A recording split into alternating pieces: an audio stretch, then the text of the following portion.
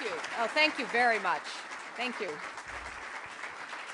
Thank you, thank you, thank you. Um, it is uh, a delight to be back at uh, CSIS and have this opportunity uh, to speak with you. I want to thank uh, Mac for his introduction. Always ask a longtime friend uh, to introduce you uh, because then you're guaranteed, at least if he doesn't provide embarrassing detail, to have a positive prelude.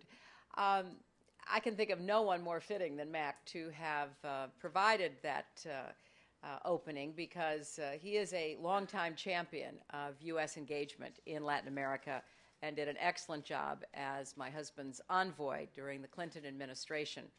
My thanks also to John Hamre, Andrew Schwartz of CSIS for your generosity in hosting us this afternoon.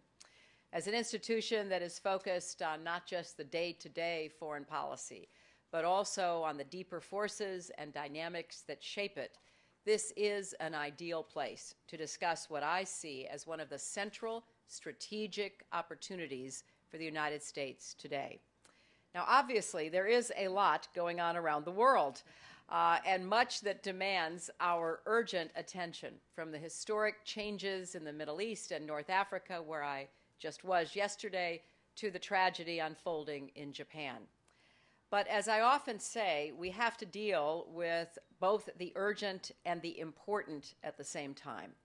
And with President Obama departing for Brasilia in just a few hours, now is a good time to turn our attention from the urgent events of the day and consider another important part of the world. The President's trip coincides with the anniversary of a major milestone in hemispheric relations. Fifty years ago, President Kennedy launched the Alliance for Progress, pledging that the United States would join with Latin American leaders to address head on a development challenge that was, as he put it, staggering in its dimensions. He understood that our failure to tackle poverty and inequality in Latin America could tear the social fabric and undercut democracy's prospects throughout the hemisphere. President Kennedy announced the alliance here in Washington to an audience of Latin American ambassadors at the White House. President Obama will mark this anniversary in Latin America and I think that is fitting. Too few Americans have noticed that something remarkable has been happening in the region. Now, there are, of course, plenty of challenges, and they often hog the headlines transnational crime, continuing inequality and poverty, inadequate education, and so on. Now, those are challenges that apply in many cases, including um, in our own country. But the real story of Latin America today runs in a very different direction. It is a story of political transition and a broad commitment to democratic development, a story of pragmatic leaders who helped turn a once troubled region into an area of dynamic 21st century economies and societies a story of active new players on the global stage. Now, in the coming days, President Obama will visit three countries Brazil, Chile, and El Salvador. Each is living this story in unique ways. The president will build on the pledge he made at the Summit of the Americas early in his presidency to work as equal partners in a new chapter of engagement based on mutual respect and common interests and shared values. He and the three leaders hosting him will show in word and deed how much such a partnership can accomplish. But I want to focus on why this partnership matters to us, what this story means for the United States, for our economic interests as we rebuild our economy and renew our competitiveness for a new time for our security and global strategic interests as we design a 21st century architecture of cooperation with the help of like minded partners, for our core values as we promote democracy and human rights around the world, and for our society and our culture as the growing connections between our peoples make us all more vital and innovative. Now, during the past two years, I've had the opportunity, as Mac said, to travel the hemisphere and meet with presidents and foreign ministers, journalists and CEOs, activists, and entrepreneurs. Last summer, the Washington Post noted that I had visited 17 countries in Latin America and the Caribbean during my first 18 months in office. Apparently, that was more than any other Secretary of State in that period, and I'm proud to hold that record. But what really matters is the common purpose behind these trips and President Obama's bolstering our current partnerships in Latin America and highlighting the remarkable opportunities we have to accomplish even more together. So let's start with economic opportunity. This is the challenge on everyone's mind today, and with very good reason. There are still too many Americans out of work, and our recovery from the financial crisis is far from complete. In this year's State of the Union address, President Obama laid out an agenda for how we will emerge from the crisis stronger than before, how America will win the future. And I share President Obama's optimism. But as certain as we are of the goal, it is not something that America can accomplish alone. Enhancing our competitiveness, accelerating innovation, achieving energy security, and expanding our exports all of these require robust engagement with Latin America. It's not only the developing economies of Asia that are aiding the global recovery today, it is also the economies of our neighbors. Brazil, with nearly 8% GDP growth last year, is predicted to become the world's fourth or fifth largest economy in the coming decades. Peru has also been growing at rates we typically associate with China and India. Chile, Uruguay, and Argentina are close behind, followed by Mexico, Panama, and Colombia.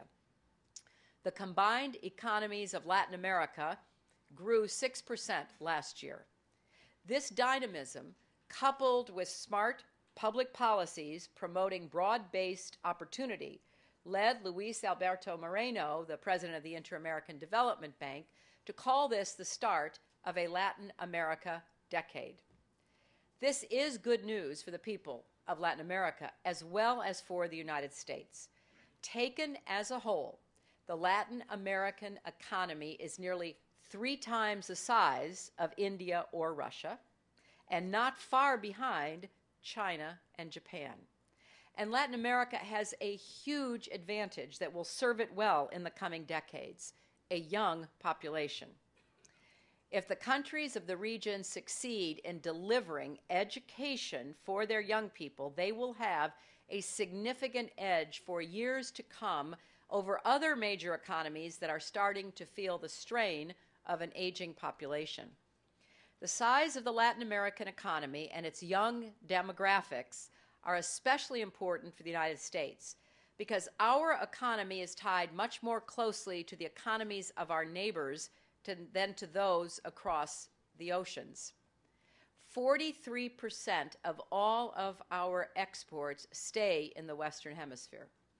We export more than three times as much to Latin America than we do to China. And I want to repeat that because I don't think there are very many Americans who understand or know that.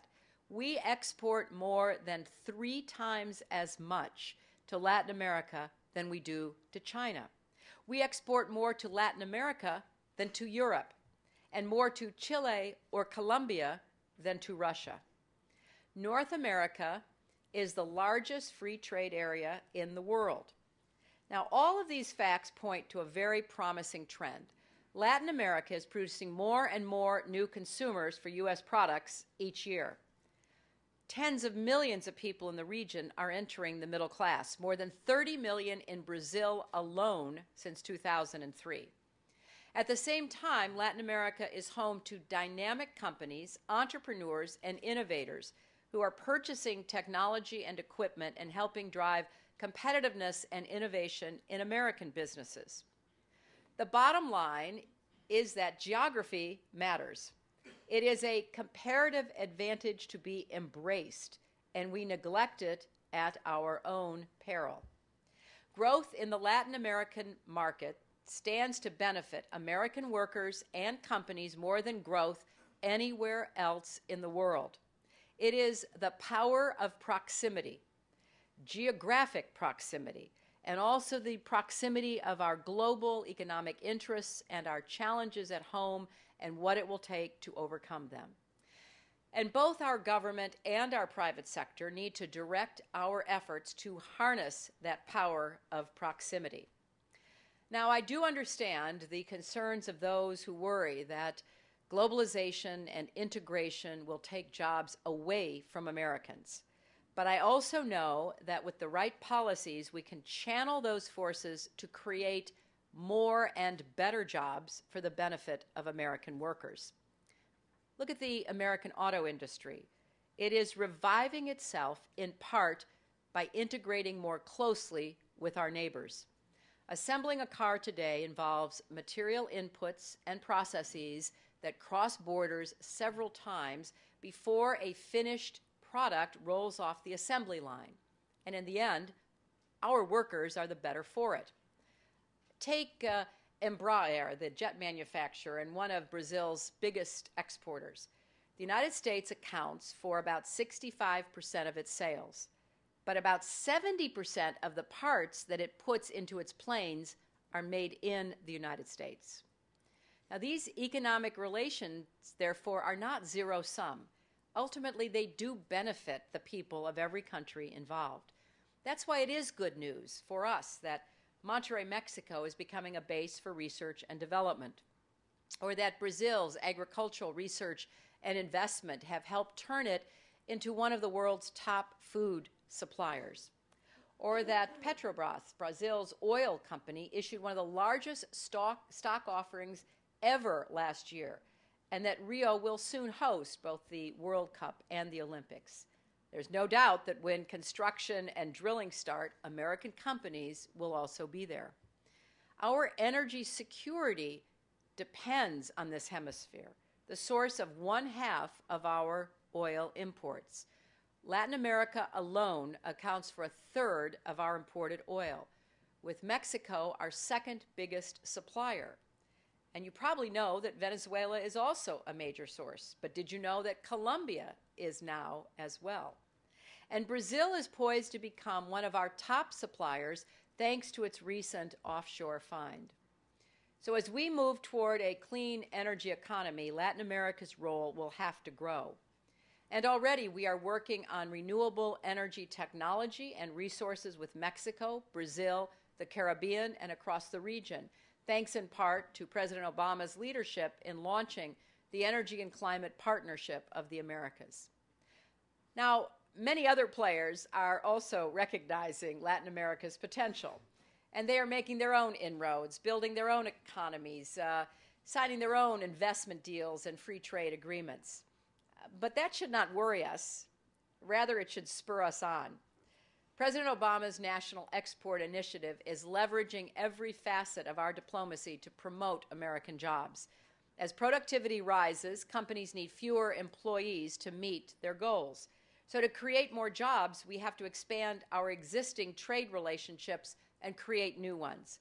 That's why a broad cross section of businesses, from high tech companies to heavy equipment manufacturers to the Montana grain growers, all support free trade agreements with Colombia and Panama. They know that opening these markets is essential to our own exports, jobs, and competitiveness. We're also building a 21st century smart border with Mexico that supports security and competitiveness on both sides. And earlier this month, we took a significant step in finally resolving the long standing dispute over trucking under NAFTA. Strengthening our economic relationships has benefits for all the people of the region, but it also has another advantage. It leads to the, the rise of even more capable partners who can help us accomplish our strategic objectives, from addressing the challenge of climate change to improving security in the region. And that's the second area I want to talk about the opportunity to partner with Latin America on global strategic issues. President Obama's visit occurs at a time when there is a growing recognition that the hemisphere stands to gain from greater cooperation premised on shared values, that governments and societies each bring their own capabilities to solving common problems. When we think about addressing the serious challenges of drug trafficking and criminal violence, for example, countries such as Chile and Colombia have much to share about the process of training effective, accountable police and judges in Central America. And when it comes to promoting social inclusion, Brazil, Uruguay, and Barbados have set an enviable example. And just as Latin America goes global, building its ties with Europe and Africa, with Asia and the Middle East, so will our relationship.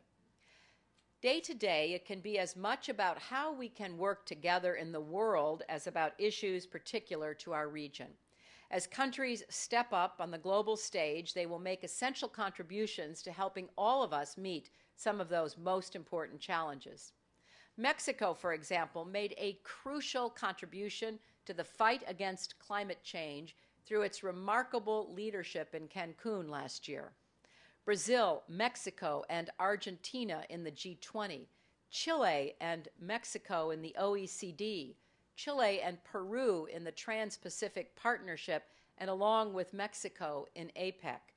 These are all helping to build a foundation for balanced global growth, a transparent global economy, and broad based opportunity.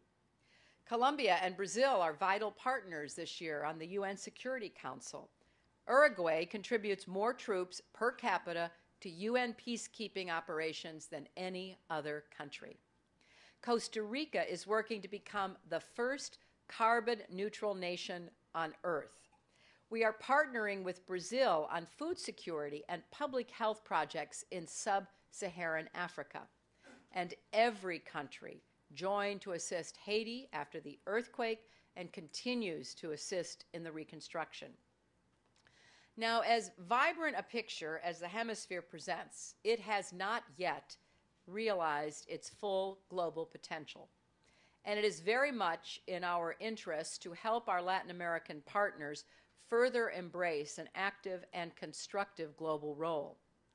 But let me hasten to add this does not mean that we will always agree, but we will agree much more often than not. And even when we disagree, we will never lose sight of the powerful interests and core values that connect us. And one of our most important, powerful bonds is our commitment to democracy. And that brings me to the third opportunity we have in our engagement in the region. Latin America has undergone such a profound democratic transformation that it can now be a model and even a mentor for those fighting to create and protect democracy everywhere. Let's not forget that before the Middle East, it was Latin America that people dismissed as arid ground for democracy. We can still recall a time when dictators and strongmen dominated the hemisphere.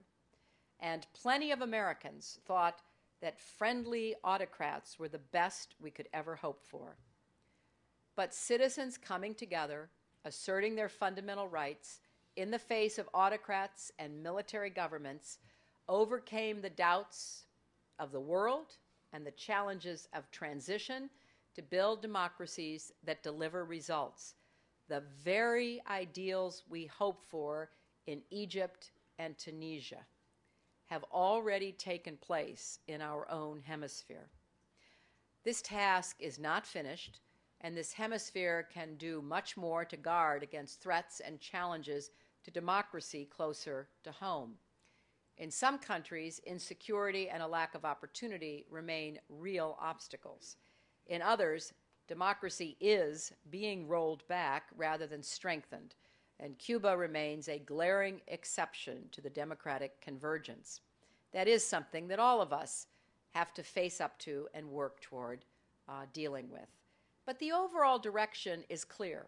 The region's commitment to democratic development is widespread and strong. And that does give Latin Americans a special role in helping support other nations making the difficult transition to democracy today. In recent weeks, we've seen some promising examples of just that. Veterans of Chile's democratic transition have already visited Cairo to talk about the importance of strong institutions, advancing reconciliation, and ensuring that democracy delivers results. Mexico took the lead in suspending Libya from the Human Rights Council. And I would add that we in the United States can also learn some things from Latin American democracy as well. Now, one example I particularly like is the encouraging number of female presidents in the region. and I must say that I am far enough away from my own career in electoral politics that I will not take too much heat for suggesting that uh, these women and societies can teach American voters a thing or two. And finally, I want to emphasize that all of these opportunities are strengthened by the interdependence of our societies, our cultures, and our peoples. The United States has one of the largest Spanish speaking populations in the world. Latinos are the fastest growing group in our country today, and we also share a rich heritage from our Caribbean neighbors. More than half of our foreign born population has roots in Latin America.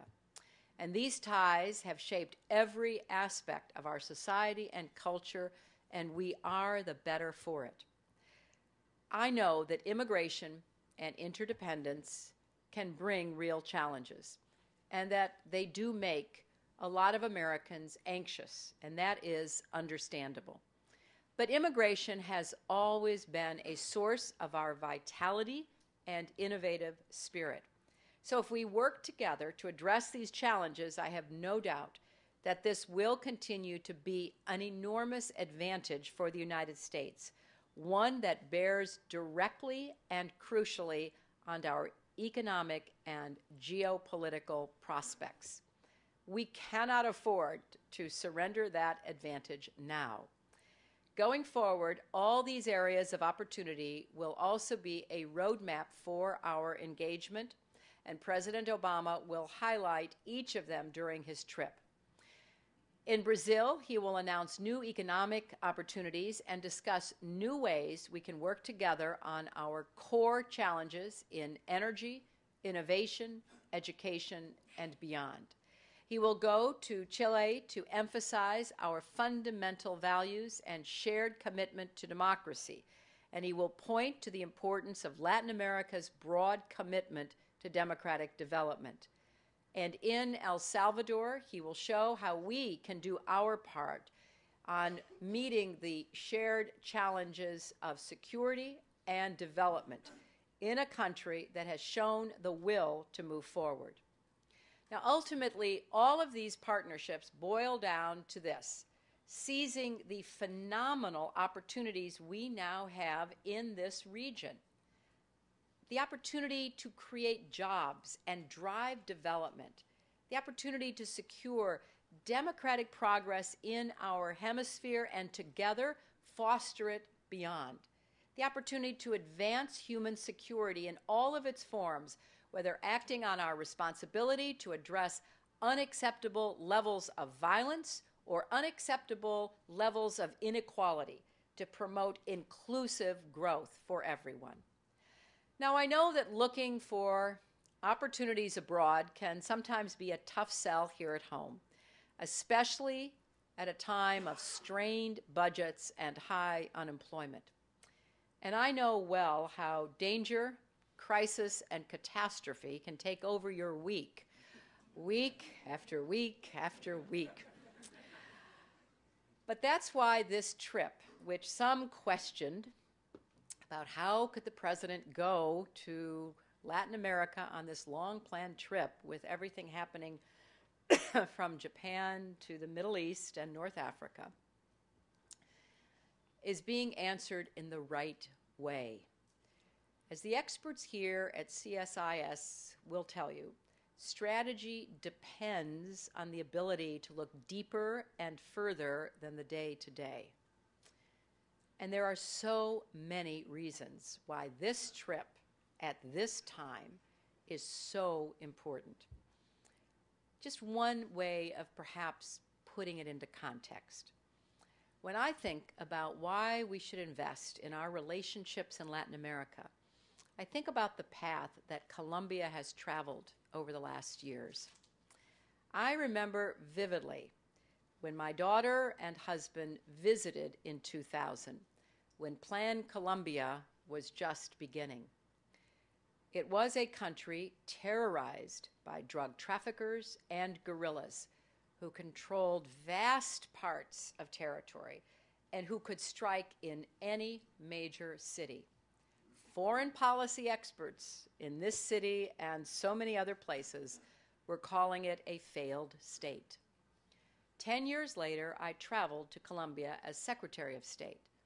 And this time, I walked through the streets of downtown Bogota I visited a bakery run by former FARC and paramilitary members, and let me tell you, it's uh, not every day that you sample the baked goods of former guerrillas.